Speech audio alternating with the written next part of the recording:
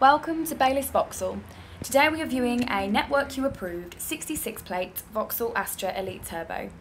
This vehicle is finished in blue, full body coloured exterior and comes with front fog lights and a remote control alarm system as well as alloy wheels. The interior comprises of black heated leather seats, a multifunctional steering wheel with Bluetooth cruise control and audio controls, IntelliLink audio system with digital radio and Apple Play, climate control, automatic headlights and wipers, all round electric windows and wing mirrors, an automatic gearbox, parking sensors, a spacious boot, and a host of many other features.